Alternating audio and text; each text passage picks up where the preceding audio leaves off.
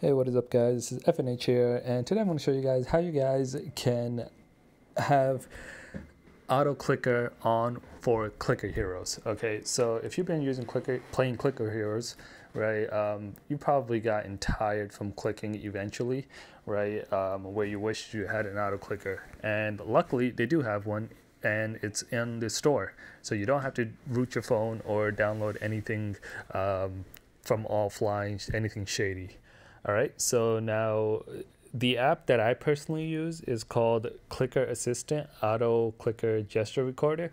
Uh, personally, I think it's the best, mainly because of the features it has and just how clean it is and how well it works. All right, so to use that, what we want to first do is click it. We want to press Start Service. Um, it'll tell you uh, you can cancel it or watch the ad. But um, before that, oh, so once it does that, it will tell you to enable a few things on your phone. Um, just press yes and enable those. Okay, so a few things that I want to show you before I get that. So the action interval time, um, how fast you want the click to be. So let's do 10, minimum is 10.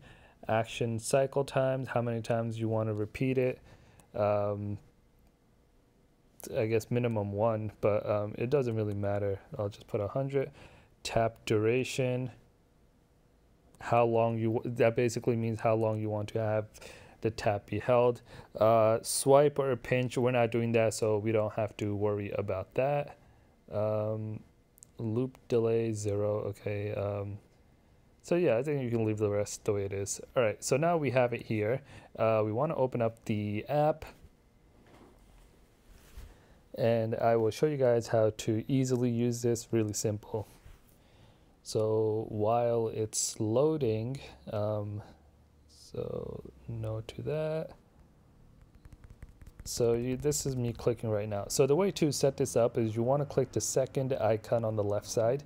So where the circle is. So now this red border thing and it's grayed out basically shows where you want the click to happen. So I just clicked in one spot right? Because it doesn't really matter if you click with two fingers, uh, only one will be registered.